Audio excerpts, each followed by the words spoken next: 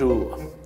Euh, aujourd'hui, nous allons parler de Léon Battista Alberti, un très grand humaniste euh, florentin euh, qui a été aussi à la base de beaucoup de, de, choses et de, nouveautés à Florence.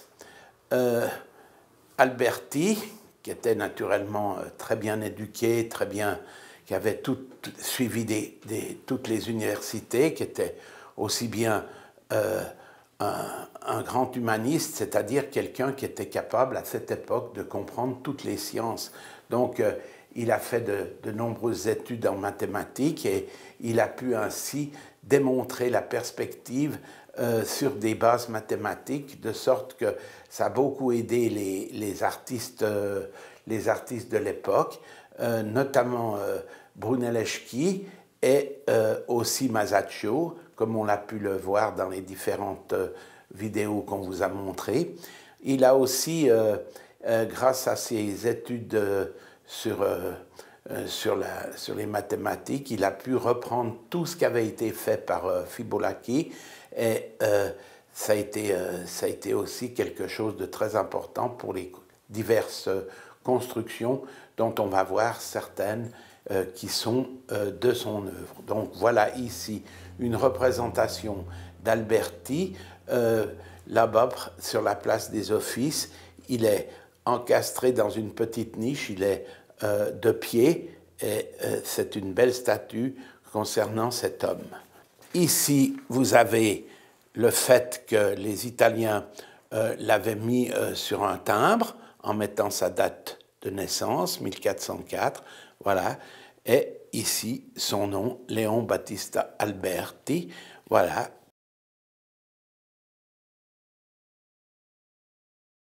« 0,50 lire.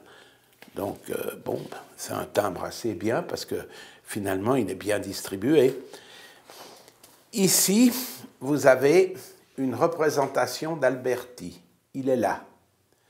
C'est fait par Masaccio, c'est dans, un, dans une des fresques de la, chapelle Brancacci. Ici, vous avez Brunelleschi, le grand architecte, celui qui a construit le Duomo, donc la cathédrale de Florence. Et ici, un portrait de, un portrait de, un autoportrait de Masaccio.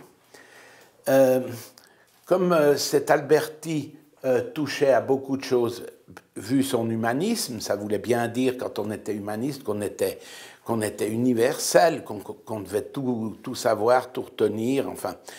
Il a fait, dans le cadre de, de ses études sur la peinture notamment, il a fait euh, quelque chose qui ensuite a fortement impressionné Léonard de Vinci. Ici, c'est le fameux homme de Vitruve de, Vinci, Vitruve étant un, architecte euh, romain dont, dont euh, Alberti connaissait les ouvrages. Et ici, vous avez cette représentation de cet homme de, cet homme de, Vitruve fait par Vinci dans un de ses carnets qu'on a découvert.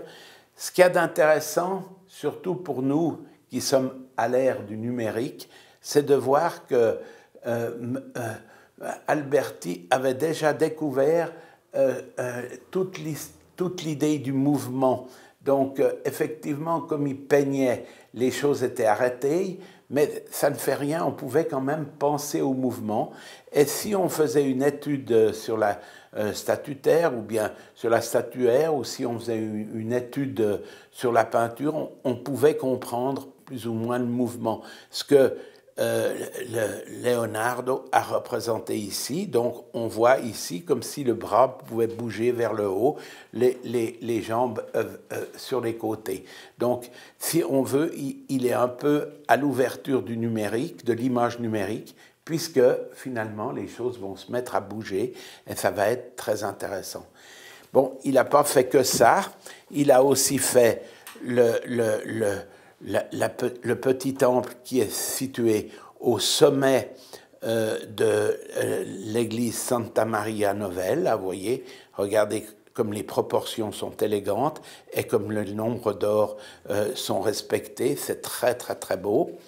Ici, vous avez une de ses plus belles réalisations, c'est le Palazzo Rucellai. Les Rucellai étant encore une fois des, des, immenses riches de Florence. Voilà le palais qu'il aura construit. Ici, on a un dessin de, de la façade telle qu'il l'avait conçue. Donc, on a son dessin sur la construction de la façade. Et ici, on a sa réalisation en pierre qui ce palais Rucellai existe toujours et il vaut la peine euh, d'être admiré. Je pense comme il appartient toujours à cette famille, on ne peut pas vraiment rentrer dedans. Mais il y a à part ça, sur les côtés ici, une loggia qui vaut la peine d'être vue. Enfin, euh, le Palazzo Rucellai dans Florence, c'est un monument magnifique. On peut voir on peut voir les fenêtres, on peut voir les, ouvertures, on peut voir la construction, tout. On peut voir à quel point euh, euh, cet immeuble de la Renaissance est très Renaissance. C'est magnifique. À part ça, toujours pour les Rucellai, ici nous avons la chapelle Rucellai à l'intérieur d'une ancienne église, c'était l'église Saint-Pancras, et cette église euh, cette église qui a été désacralisée euh, dans les, années 1802 euh, a fait maintenant l'objet d'un musée, c'est le musée Marino Marini, qui est un, un magnifique sculpteur moderne des, du XXe siècle. à l'intérieur, il y avait la chapelle Rucellai qui est en train d'être reconstituée, et à l'intérieur de cette chapelle, euh, Alberti avait reconstruit euh, le temple du Saint-Sépulcre sur les mêmes bases de ce qu'il avait reçu comme information du Saint-Sépulcre de Jérusalem. Donc on a exactement les mêmes bases et vous pouvez voir ici euh, cette représentation.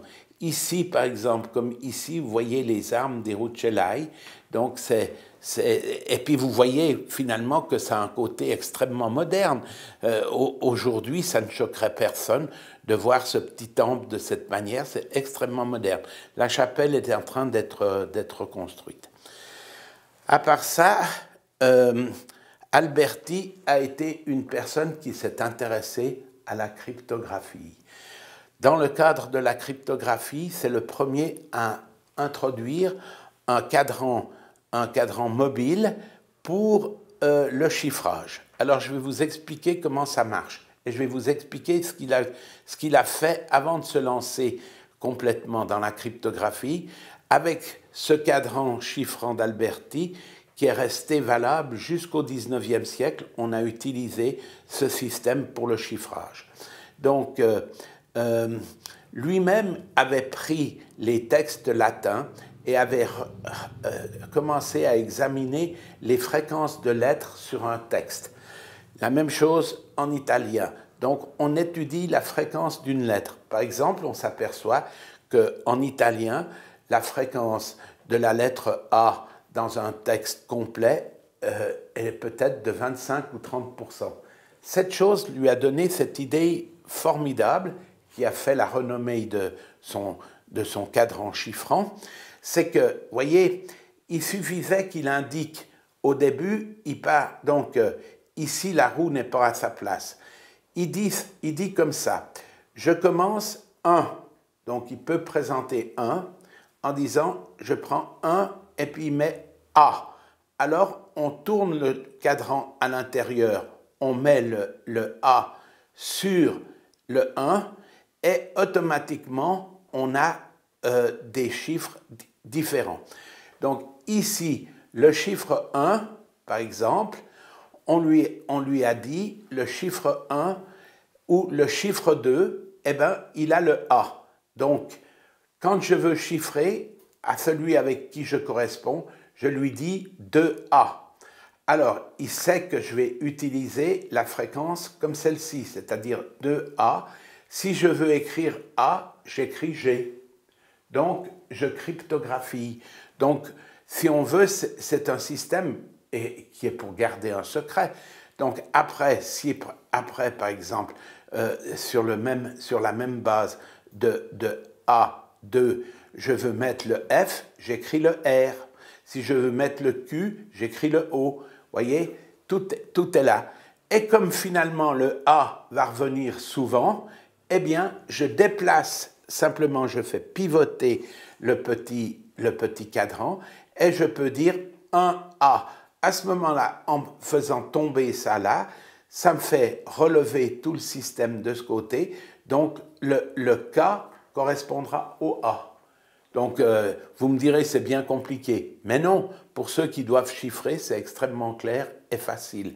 Mais c'est un travail que lui a trouvé et qui, a, été, qui a été tellement bien vu parce que sur, une, sur un même texte, on peut avoir 1, 2, 3, 4, c'est-à-dire qu'on pourra varier euh, plusieurs fois sur, la, sur cette base-là, on pourra avoir quatre possibilités.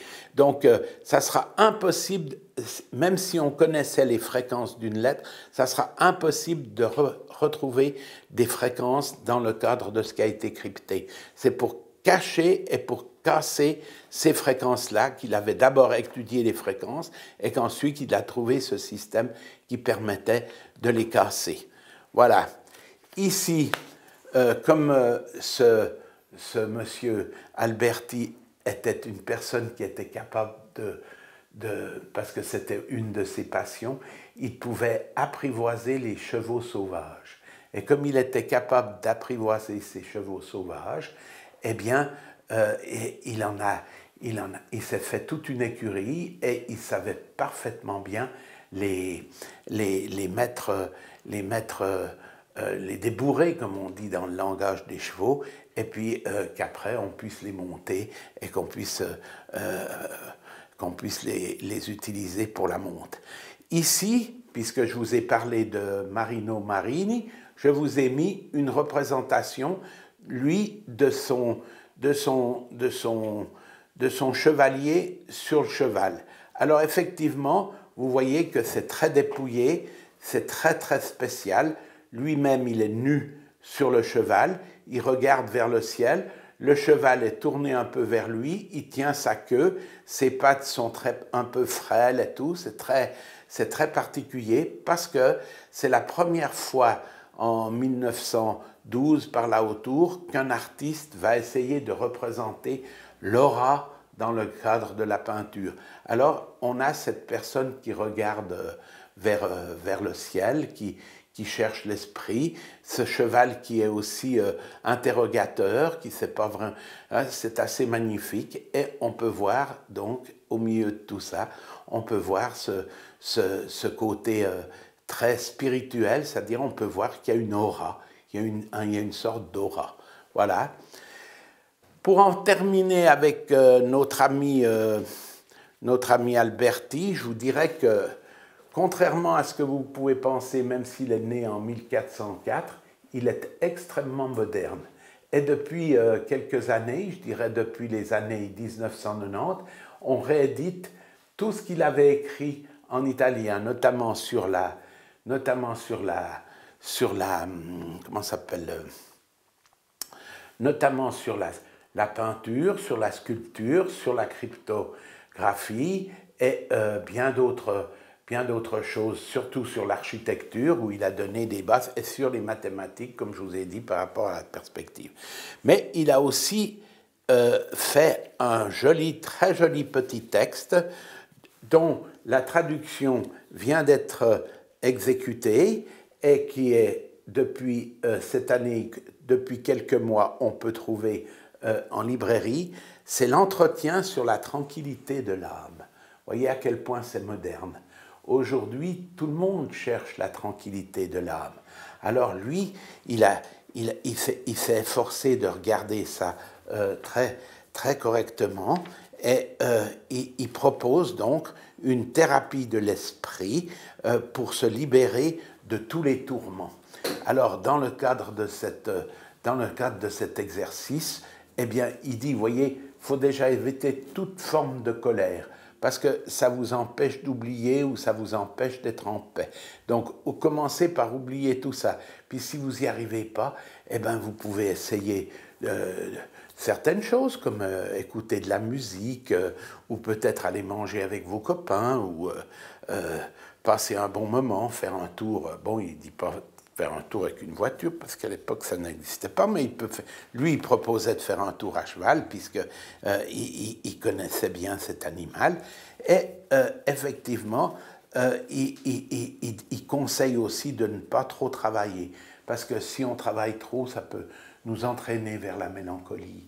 Donc voilà, ça c'était c'était toute l'idée, les idées tout à fait modernes de cet Alberti qui était très apprécié des peintres et, qui avait beaucoup d'amis euh, en, Toscane, où, il a vécu des moments magnifiques.